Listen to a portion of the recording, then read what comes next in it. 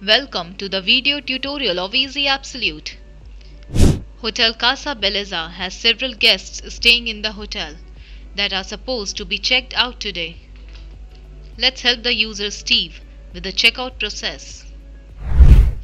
Click on the reservations button and go to departures to see the list of rooms which are supposed to be checked out today.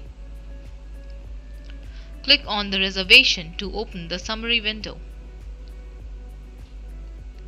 Please note, room status will change to due out on the departure date. Also, the checkout button would be activated on departure date.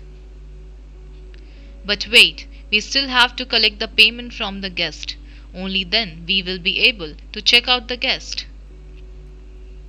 Hence, collect the payment by clicking on the Add Payment option under More button.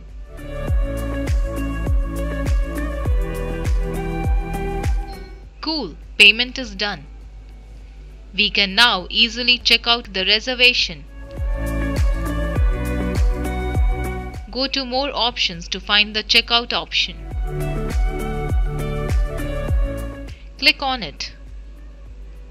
That's it. Software has successfully checked out the reservation.